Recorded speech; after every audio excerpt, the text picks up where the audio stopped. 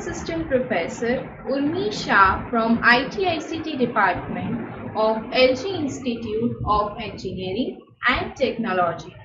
In today's session, we will be continuing with our fourth session of Telecommunication Engineering subject continuing with chapter number 1 that is Electronic Systems and its switching techniques. So let's move ahead with this unit. Up till now we have understood what is telecommunication, what are the applications of telecommunication engineering. Then we saw about what is switching system, how switching system can be classified. So we had an overview about the switching system. From today's session, we will be moving ahead in depth of different types of electronic switching system. So let's move ahead with this topic. So basically in this session, these are the following topics that I am going to cover that is functions of switching system, classification of switching systems, stored program control exchange. So these are the following topics that I am going to cover in today's session. So basically in the last section or in the last session, we discussed regarding what is a switching system. So something which connects as a media between two or more devices or two or more systems that can be related as a switching network. Now, what are the roles, what are the functions of switching system? So basically, the switching office performs the following basic functions irrespective of the system whether it is manual or electromechanical or electronic switching system. So these are the three different types of switching system which we saw in the previous section that eitherly you can manually operate a switch or you can have an automation in your switching system. So these are the two types and in automation also we had two categories that is electromechanical and electronic switching systems. So basically this is an overview of switching system. Now the basic functions of a switching system first includes identity. So basically identity here has a role like the local switching center must react to the calling signal from calling subscriber and must be able to receive information to identify the required destination terminal Cs. So this thing simply means that the switching center or the switching office must be able to react whenever a call has been initiated by the caller and the calling subscriber is able to receive it or not up to the received destination or the required destination. So that is the role of identity. It actually identifies the caller and the calling subscriber. So next function of switching system includes addressing. Now basically addressing simply means if some person is calling to you then you are able to address him or her or not that is the addressing term. So in technical terms the switching system must be able to identify the called subscriber from the input information. Whosoever is calling or whosoever is the caller, you must be able to identify and you must be able to address the caller. That is the role of addressing. The next function is finding and path setter. Once the calling subscriber destination is identified, and the called subscriber is available, an accept signal is passed to the switching system and calling subscriber. Based on the availability, suitable path will be selected. So basically, you have a caller and the person whom you have to call. So there are two person between them we have to initiate the calling process.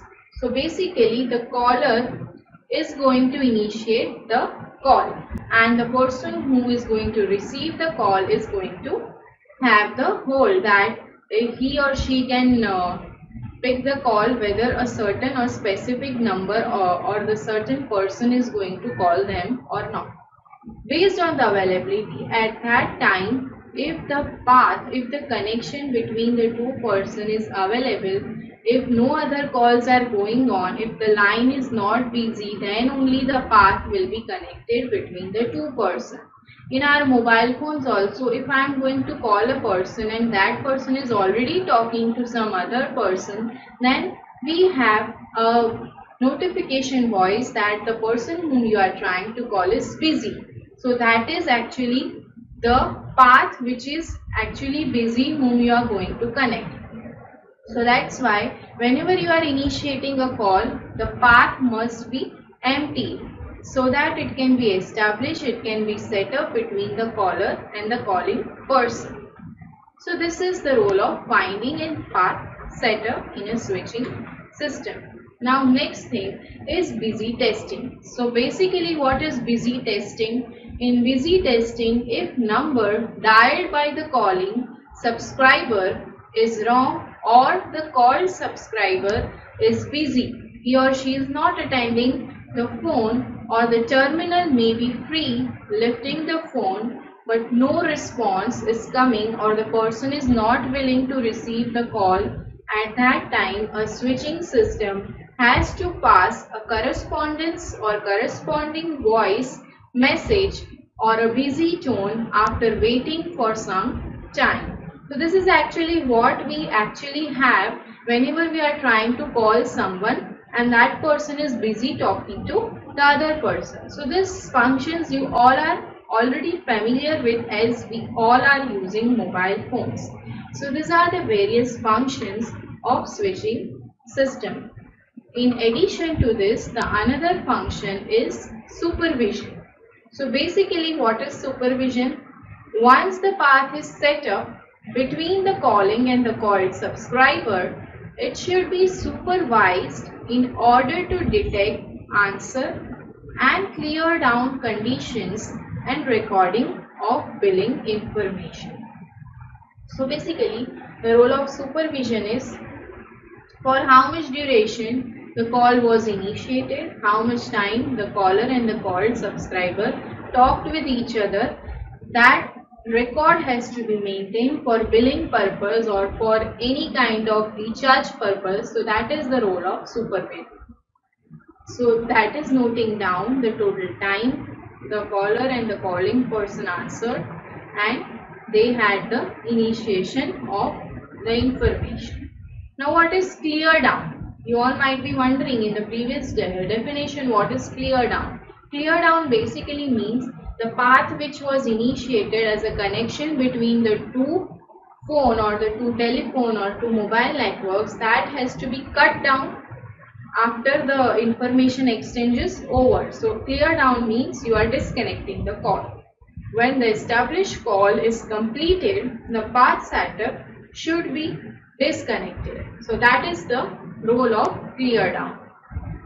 Moving ahead, the next functions include billing. Now billing is done based on the number of connections are developed and for the number of duration time. So the switching system is going to maintain a track record of all the phone calls which were initiated by the caller and the calling subscriber and what are the total durations, what are the total days, how much time the call was initiated. So all this track records has to be maintained by the biller. So in a switching system should have a mechanism to meter to count the number of units made during the conversation. The cumulative number of units made for particular duration by the calling subscriber is calculated. This information and if any should be sent to the called subscriber. So after the call is completed, you have a SMS that you talked for 3 minutes or 5 minutes. So total call cost deducted is 5 rupees. Such message is displayed whenever we are disconnecting the call. So that is the role of biller. Now let's understand the next topic that is classification of switching system. How basically the switching systems are classified. So in early days, the human exchange provided switching facilities. Switching facilities in the term exchange of information via a media that is our telephone network. In manual exchanges, a human operator and elements like switches, plug and jacks are used to connect two subscribers. Around 1890s, many electromechanical switching devices were introduced. So this was the history about the switching system. Till 1940, different electromechanical switching systems were invented like Strowger and crossbar switching system. Now what is Strowger and what is crossbar switching system that we will be seeing in the upcoming next part. So basically this is the classification of switching system. Switching systems are classified in two parts that is manual and automatic. And in automatic also we have further classification that is electromechanical and electronic. The later inventions of electronic switching system which uses stored program control and computer control switching system are presently dominating the worldwide exchanges. Now what is the stored program control and computer control switching system? That we will be seeing when we will be learning about the electronic switching system. But these are the widely used. Rest of them are not used in nowadays time. So the first one is the stored program control exchange.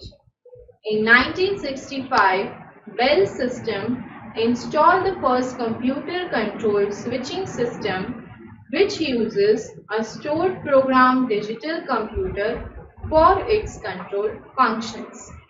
Now the SPC concepts permits the features like abbreviated dialing, call forwarding, call waiting. So these were the extra features which were added by the SPC exchange switching system. The SPC provides significant advantages to end users. So basically, Stored Program Control Exchange had maintained a record that what are the previously added calls, what is call forwarding, call waiting, those features were added by the SPC Exchange switching system. The SPC enables easier number changes, automated call tracing, unit accounting, etc. So basically if you want to change your mobile number, if you are going to some other state or other country at that time, this was the technique which was uh, used to change your mobile number. That is actually what we call portability in today's time. But in portability we are keeping the number same, just we are changing the SIM card user that is either you are changing it from Airtel to Vodafone. So this was a kind of uh, stored program exchange that if you want to change the network user or you want to change the mobile number. So at that time, these were the options available from stored program control section. In stored program control, a program or a set of instructions are stored in its memory and executed automatically one by one by the processor. So basically in stored program control, here you are having the storage of all the instructions and after one after other the instructions are executed by the processor. Carrying out the exchange control functions through program control or through program stored in the memory of a computer led to the name stored program control. So this is about the basics of SPC. In that, a computer can be programmed to test the conditions of the inputs and last states and decide on new outputs and state. So this is all basics about SPC.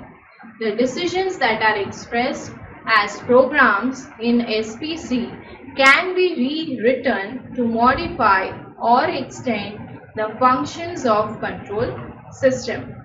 All switching systems manufactured for use as public switching system now use computers and software programming to control the switching of calls.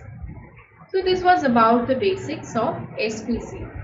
In the previous time all the thing or all the recording was done manually but after that SPC was introduced to reduce human efforts and to have kind of automation or controlling by a processor to have an automation in the field of telecommunication.